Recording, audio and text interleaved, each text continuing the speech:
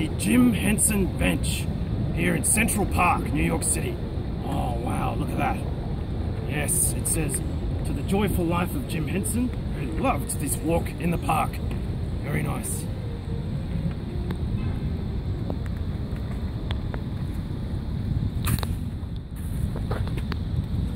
Yeah.